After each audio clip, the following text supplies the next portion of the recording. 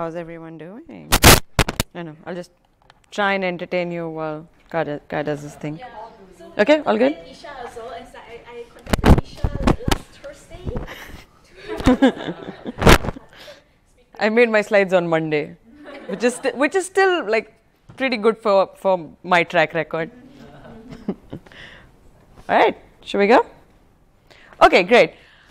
Hi everyone, my name is Isha. Some of you here have met me before and know that I love to talk. So, um, I am going to be talking about my developer journey, and I've after listening to Sujin's talk, I realized that mine is slightly tangential, if not opposite, to everything that she said. So I'm going to try and draw parallels where I can, but um, uh, I, I hope that you gain something from what I'm going to talk about. All right, so welcome on board. My title is The Hitchhiker's Guide to Software Development. That's because I just read Hitchhiker's Guide to the Galaxy and I just got very excited about it. Um, I tried to find more metaphors to match Hitchhiker's Guide, but uh, I think I'm not as creative as Douglas Adams, so I couldn't really do that. But I'll try. Let's start with just getting to know each other a little bit. I can tell you something about me. I have a degree in electronics and communication engineering. I do not have a software development degree. Uh, the only software development I learned, so to say, is when I did C in school and one C course in uh, college during engineering, where we only wrote like programs like factorial and multiplication tables and stuff like that. And um, I think my first sign should have been where I wrote, uh, like, did the assignments not only for myself, but the six people who were sitting around me. That should have been my first clue. It wasn't. I ended up in software development entirely by accident. Um, this company that I used to work for before my current job, which was incidentally my first company, um, they were doing a recruitment drive. A bunch of my friends were going, and I was like, yeah, sure, let's go. It's going to be a nice trip. And that nice trip turned into a job offer, and it turned out to be a pretty kick-ass company to work for, and I worked with them for six and a half years. So I'm what they call a full stack polyglot developer, which means I do anything and everything that falls on my plate. Uh, it also means that I'm a jack of many trades, master of absolutely none. Um, but it's, it's been a good experience because I've gotten to do a lot, lot of things, and I'll talk about that in a little bit. I am a consultant. We primarily do consulting with agile and extreme programming. That's what XP stands for. Um, pretty neat trick to writing good software, doing development in a more sustainable manner. Check it out if you haven't so far. I also love salsa, the dance, not the condiment. Actually, the condiment's not too bad either, but the dance is what I prefer. Um, and I spend a lot of my time and money on that, incidentally. I have been a developer slash consultant for more than eight years now. Um, worked with one company for six and a half years. My current company, I finished two years in January. I have worked on more than 10 projects. I have worked on more than seven tech stacks. I just got lazy to count after seven, actually. Um, I have worked uh, with clients from more than five countries. I worked with people from much more than that. Also got lazy to count, so gave up. Um, I have written and deleted countless lines of code in the last eight plus years. I'm pretty sure I've deleted more than I've written, so I count that as an achievement. And of course, being a consultant, there have been unlimited hours of talking to a lot of people, and that's not because I like talking, it just comes with the job. Um, so, yeah, I already talked about how I ended up here. Um, let's find out a little bit about the people in the room. How many developers? Okay, most of the room, which is good. Any non-CS background developers? One. Okay. Two. All right. Okay. Three, four, five, six. Okay. Great. Perfect. This is this is my perfect audience. Um, how many people with less than one year in development? Oh, great, great. Even better. Definitely my target audience. Okay. Uh, anyone with between one and five? Okay. Perfect. More than five? Okay, cool. So we have a fairly mixed bunch, which is good. So at any point, if you have a question or want to add a comment, please feel free.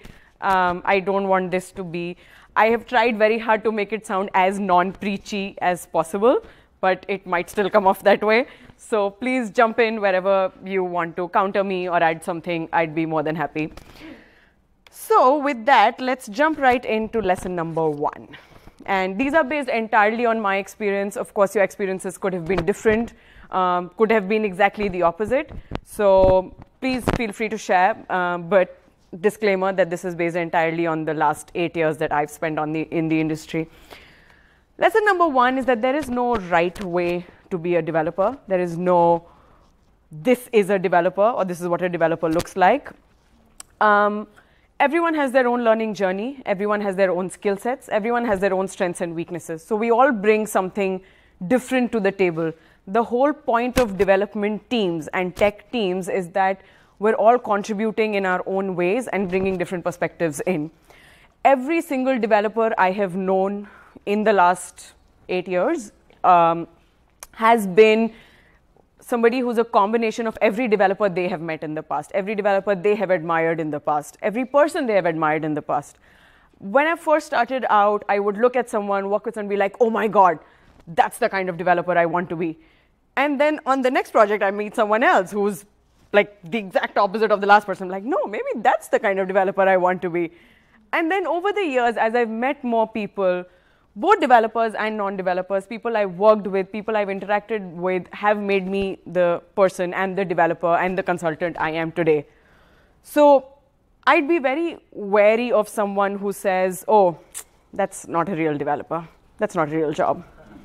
It's, we all have our own thing. Software development is such a broad domain. It is such a broad field that it's impossible to just put it in one box and say, that's how a developer should be. Lesson number two, before I move on to that, actually, wait, let me just check quickly what my lesson number two was. Right, yes. Um, how many people here have been or are scared of asking questions in big groups? Yeah? Yeah? Yeah. I'm exactly the same. Well, used to be, not, not anymore. Well, am I still on this? Yeah. Okay, apparently not. Yeah, there we go. The best way and the cheapest way to learn is to ask questions, even if they seem stupid to you. If you don't ask, you will never ever learn on that thing because, especially in development, half knowledge is a very dangerous thing. It's very, very dangerous to make assumptions because you spend countless hours having worked on things based on that assumption, and then you find out those assumptions were completely invalid.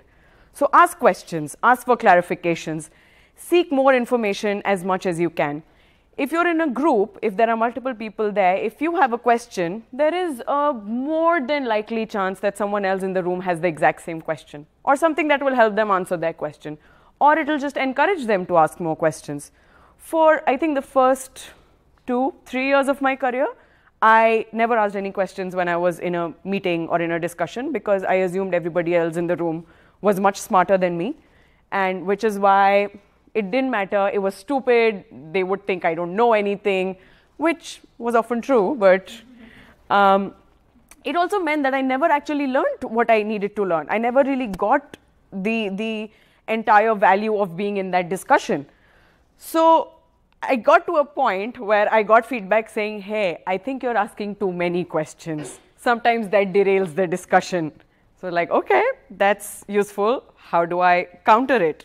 So I was told, you know what, if, you, if it's something that doesn't need answering immediately, write it down on a piece of paper, ask it later. It's a trick I've used, it works, maybe try it out. But the, the key thing is to always, always ask questions, um, if they're relevant, of course, uh, if they're, you know, critical to the discussion that's happening right now, not necessarily to derail the discussion because like I said, it's the cheapest way to learn and it's very important to have as much information as you can before jumping into writing code to, to state it at the simplest level, right? All right, lesson number three. You don't have to live, breathe, sleep code all the time to be a good developer. Majority of the developers that I admire and uh, take inspiration from are people who have hobbies outside of code. I'm not saying you shouldn't spend time doing research or learning new things or keeping up with the latest trends, reading tech news, all of these things. You should do it because software development is a field that changes very, very quickly and very, very drastically over a very short period of time. It's constantly in flux. There's something or the other happening all the time. But it doesn't mean that you can't do anything outside of code or outside of tech if you're a developer. I have met people like that, and they are not the easiest people to work with, um, at least in my experience. it's, it's very exhausting when you're a new developer and a senior you're pairing with says, Oh, you go home and read this book, tomorrow I'm going to ask you 20 questions on it. I'm like, but I have dance class. I, I pay money for that. I want to go do that. So, no, I can't. But it's okay. If writing code and if doing side projects and pet having pet projects is something that gives you joy if oh, i'm not going to pull a marie kondo on you. I'll try not to. Uh, if that's something that uh, makes you happy great. Go for it. But you don't have to do it just because that's expected of you as a developer. I don't have any pet projects. And i'm a little embarrassed to say that but it's true.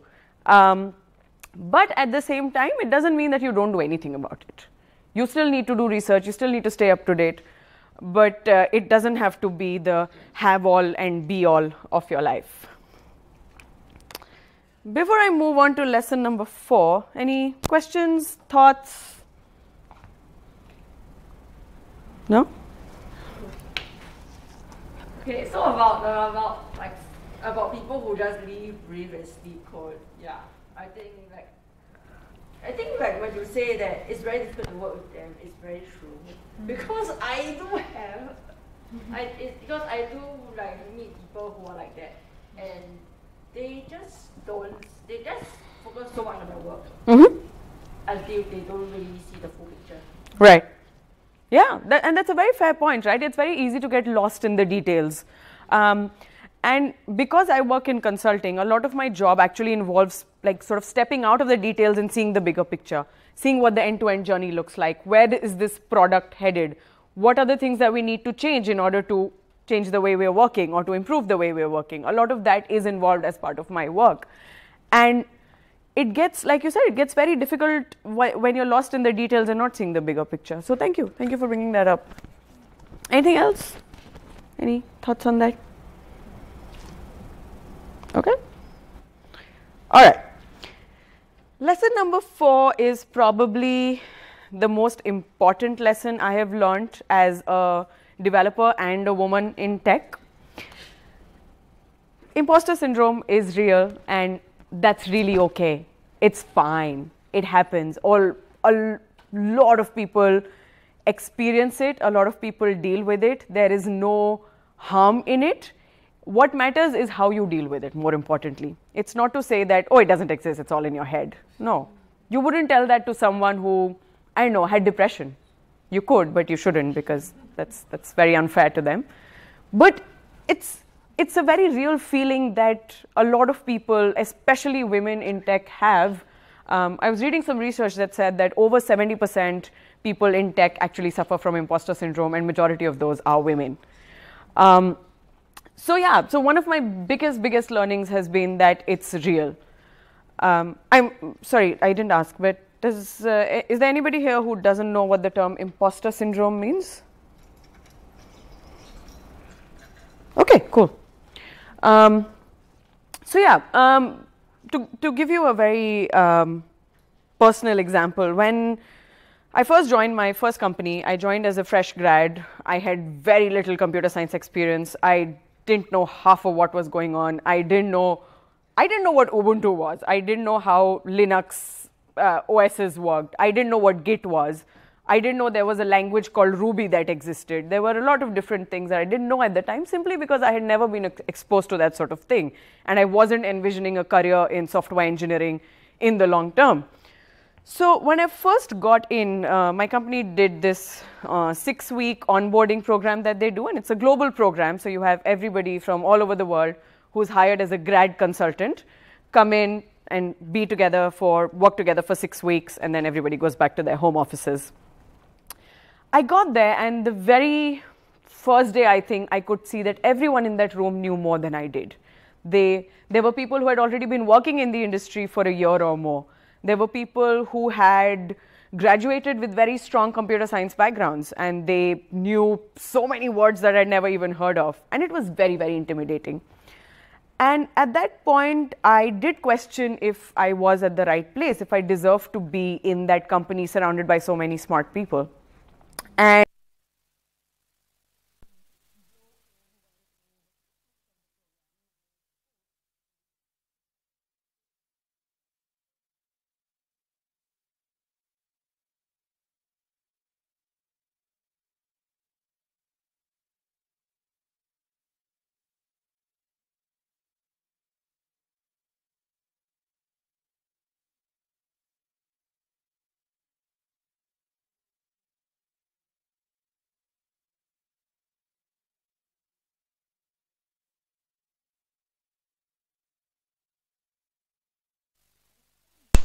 feeling and what I was going through with another trainer in the program.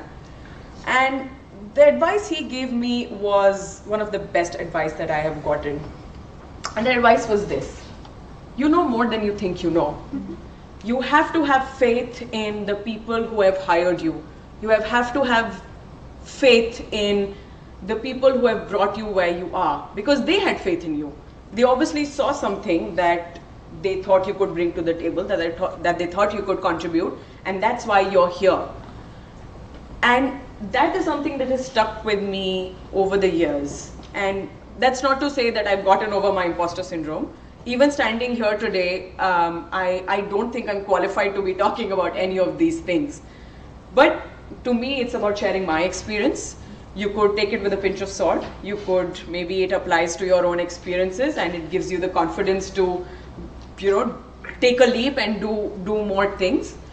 But for me, that was the turning point. Um, another example of you know more than you think you know was this same onboarding program that I went through when I joined the company.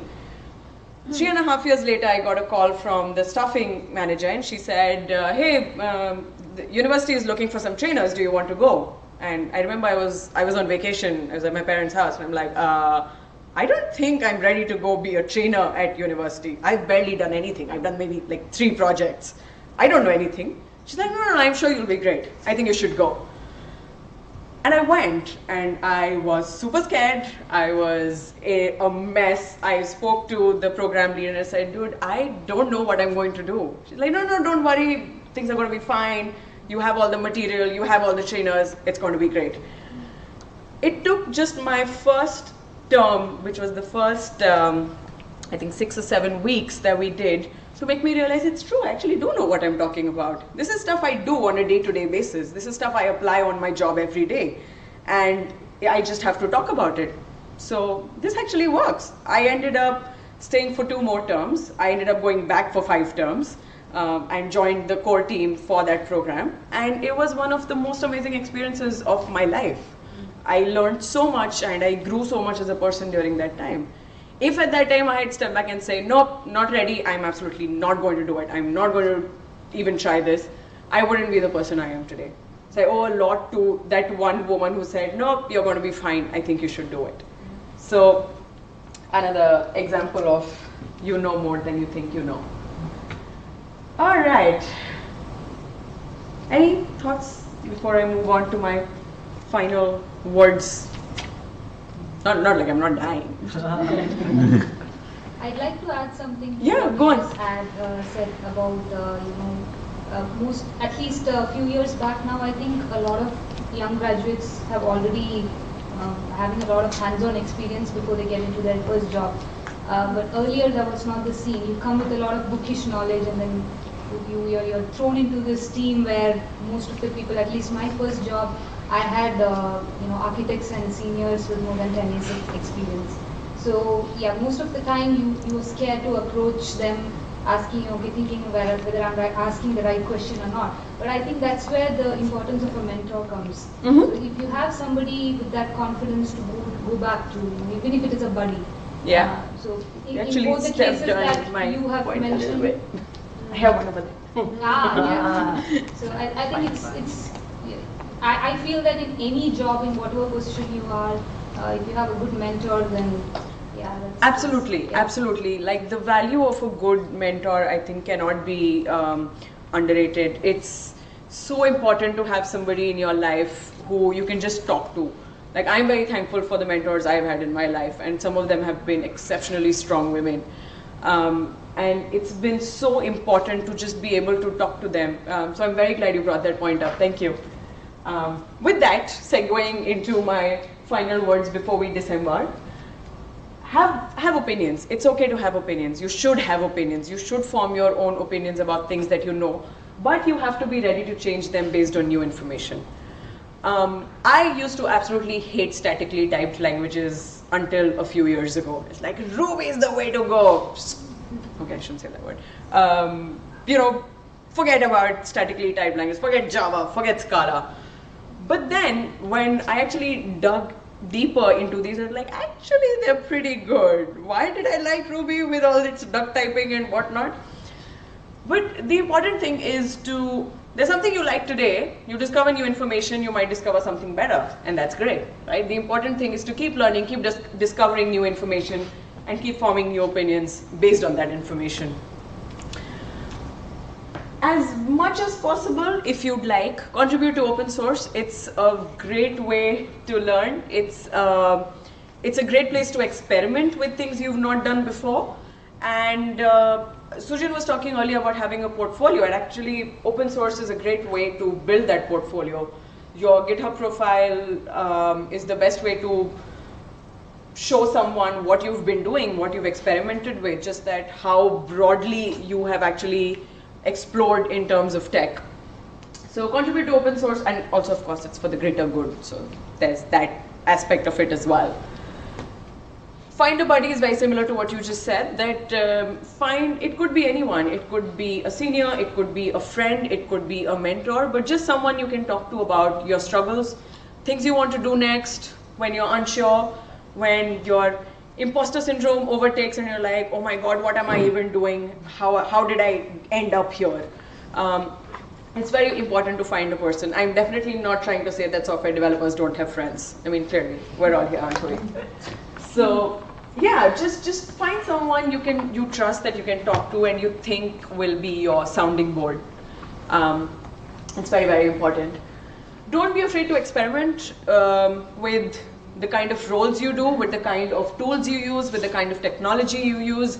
Um, I have, I've been a business analyst, I have been a scrum master, which is by the way, the most confusing job I have ever seen. I don't really know what it means to be a scrum master.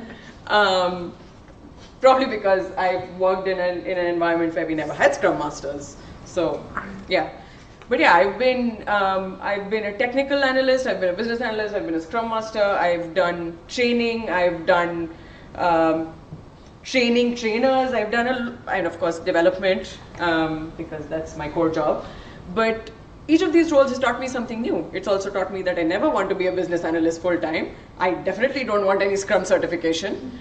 Um, not because I think there's anything wrong with these roles, I just don't think they're for me or the kind of stuff that I want to do.